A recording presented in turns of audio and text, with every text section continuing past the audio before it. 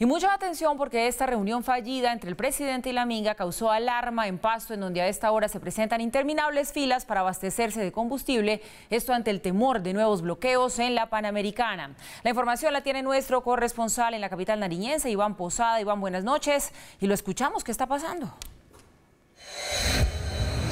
Hola, ¿qué tal compañeros? Muy buenas noches. Yo los saludo desde el norte de la capital del departamento de Nariño, en una de las estaciones de combustible, donde desde hace aproximadamente una hora este es el panorama.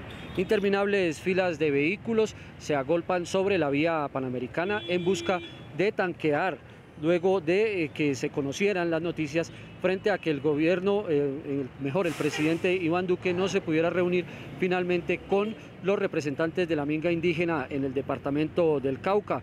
Una vez se conoció esta información, cientos de pastuzos salieron a las calles de la ciudad en busca de eh, poder tanquear sus vehículos en las diferentes estaciones que hay que decir en este momento no cuentan con el cupo necesario para poder realizar esta tarea, debido a que, como todos sabrán, desde hace 25 días se presenta el desabastecimiento de combustible en el departamento de Nariño y los vehículos que venían desde eh, la ciudad de Yumbo con el combustible pues apenas ha llegado en un 30%. A pesar de que las autoridades han asegurado que no se presenta ningún eh, tipo de bloqueo hasta el momento, pues eh, las personas han sido precavidas y han salido desde muy temprano en la noche a tanquear sus vehículos. Desde la ciudad de San Juan de Pasto informó para Red Más Noticias Iván Posada.